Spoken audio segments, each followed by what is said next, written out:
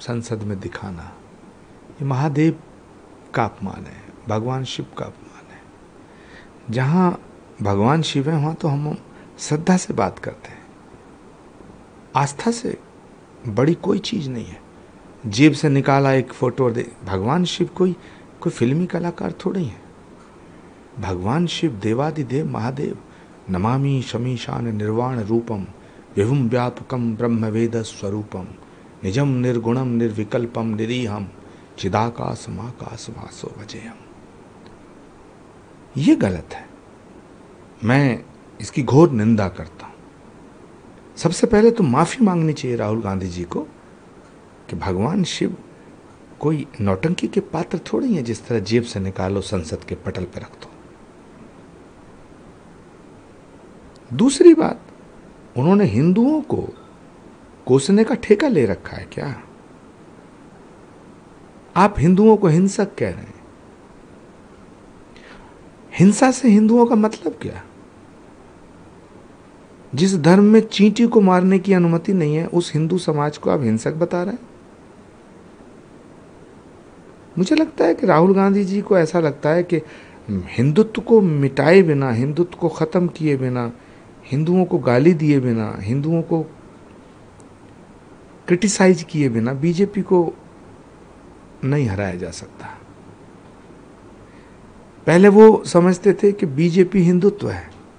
अब उन्हें लगता है हिंदुत्व ही भाजपा है। आज उन हिंदुओं को बड़ी ठेस लगी होगी, बड़ी तकलीफ़ हो रही होगी, जिन्होंने इन्हें वोट दिया है। ये बहुत बड़े चिंतन का विषय है। और पूरे विपक्ष के उन नेताओं को भी सोचना पड़ेगा। मैं पूरे विपक्ष के राजनीतिक दलों के नेताओं में पूछना चाहता हूँ अखिलेश यादव जी से। जवाब दें ममता बनर्जी। तेजस्वी यादव बताएँ। राहुल गांधी जी को उन्होंने अपना नेता चुना है। अखिलेश यादव जी, तेजस्वी यादव जी, लालू यादव जी, ममता बनर्जी जी, अरविंद केजरीवाल जी, सब बताएँ, क्या हिंदू हिंसक है? क्या हिंदुओं ने आपको वोट नहीं दिया है? जिन हिंदुओं ने आपको वोट दिया है, वो कितना दुखी हो रहे होंगे? कि पूरी कम्युनिटी को हिंसक बताया जा रहा है? मुझे लगता है कि राहुल जी को हिंदू समाज से क्षमा याचना करनी चाहिए। जो वो नहीं करेंगे, फिर भी मैं अनुरोध कर रहा हूँ और मैं अपेक्षा करता हूँ कि उन्हें करनी चाहिए।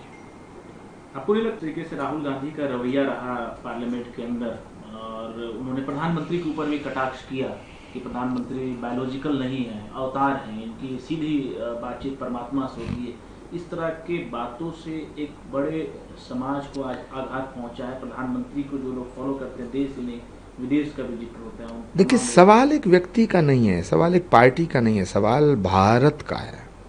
सवाल भारत के अस्तित्व और अस्मिता का है।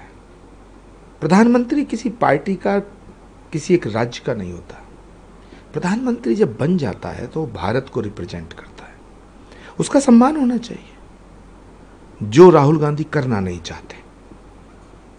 राहुल गांधी जी नरेंद्र मोदी से इतनी नफरत करते हैं कि उनसे नफरत करते करते करते करते वो इस देश से नफरत करने लगे और ये ईर्षा उनका, जो भाव है ईर्षा का जो भाव है ये उनके शब्दों में आ जाता है। हमारे यहाँ संस्कृति है, हमारे यहाँ सभ्यता है। वो लोकसभा अध्यक्ष के ऊपर भी टिप्पणी कर रहे हैं। लोकसभा अध्यक्ष ने आज बहुत अच्छी तरह से समझाने का प्रयास किया कि ये हमारी संस्कृति का हिस्सा है। हमसे कोई बड़ा आता है, हम उसे प्रणाम करते हैं। लेकिन भारत की संस्कृति की बातें राहुल जी की समझ में नहीं आ सकती। उनकी समझ में भारत की संस्कृति और सभ्यता की बातें नहीं आएँगी, जिनकी परवरिश विदेशी तरीके से हुई है। अभय मुद्रा की बात, विदेशी सभ्यता की बात करते हैं तो अभय मुद्रा का ज़िक्र कर रहे हैं कि तमाम धर्मों में अभय मुद्रा का मतलब उनके पार्टी की तरफ़ इशारा है। शांति का एक संदेश है अभय मुद्रा में, वो रिलीजन की बात करें तो चाहे वो इस्लाम हो तो एक आपको लगता है धार्मिक पकड़ राहुल गांधी की बड़ी है? मुझे लगता है उन्हें मुद्रा का अर्थ ही नहीं पता। वो मुद्रा, वो सोच रहे होंगे धन, पैसा करेंसी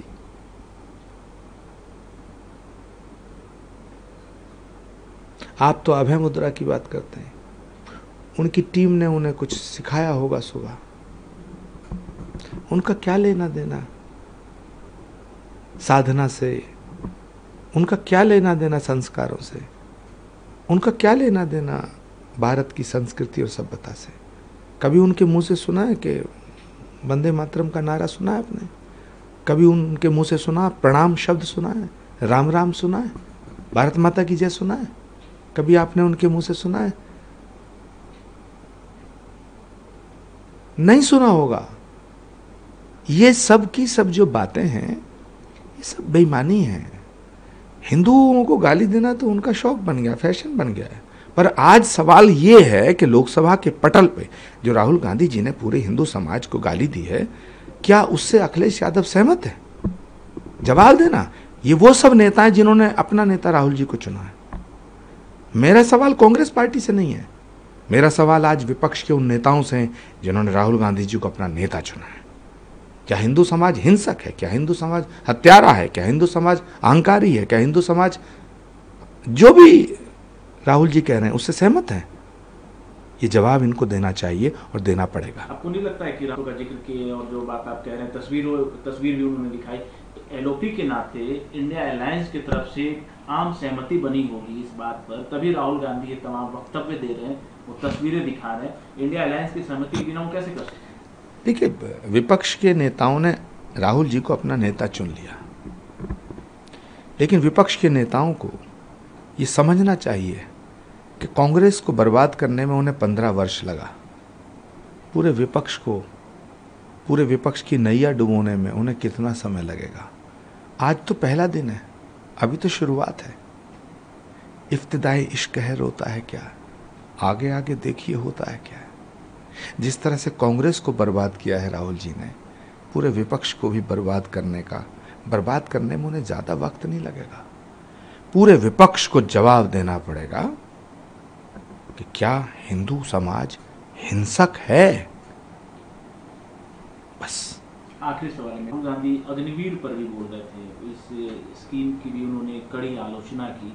राजनाथ सिंह का भी उन्होंने इसमें ज़िक्र किया और कहा कि कैसे नौजवानों को जो है इस अग्निवीर के बर्बाद किया जा रहा है। सेना को भी कहीं ना कहीं बर्बाद करने की कोशिश देखिए, मैं ऐसा मानता हूँ, जो सरकार होती है, वो एक कोई स्कीम लाती है, दूसरी सरकार दूसरी लाती है।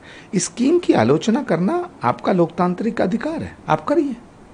पर देश की सेवा में वो जाता है जिसमें देश के लिए जज्बा होता है। अगर दस साल देश की सेवा करने का मौका मिले तो अच्छा चार साल मौका मिले वो भी अच्छा। चार पल को भी अगर देश की सेवा में जाने का मौका मिलता है, वो भी हम अपना सौभाग्य समझते हैं। हम माँ भारती के सपूत हैं साहब।